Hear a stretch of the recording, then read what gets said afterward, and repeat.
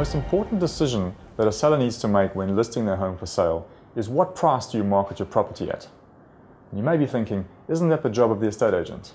Well, I would always recommend that you bring in at least two or three estate agents to give you their professional assessment on the value of your home. But at the end of the day, it's the seller who sets the price for the marketing. And what I would recommend is to avoid the temptation of overpricing your property in the early marketing phase to test the market. Now, this happens quite regularly. And the problem here is that what you're doing is that in those first two to three weeks, you're getting the most active buyers coming through your property. You're getting buyers and agents coming through who have been looking at properties for the past few months. They've been able to compare, they know what's on the market, and now suddenly they walk through your property and they have a very good understanding of what represents good market value. So if your property is overpriced in this early initial period, you may just be excluding the most active set of buyers in the market, which means your home may stay on the market for longer.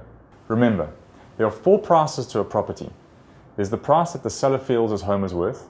There's the price the buyer is prepared to pay. There's the estate agent's valuation of the property. And finally, there's the price that buyer and seller will agree on, which is what we call market value. So avoid the temptation to overprice your home through those early initial stages of your marketing process and ensure that you get the best possible price for your home, but in the shortest possible period of time. Overprice your property and it may be sitting on the market for a lot longer than you expected.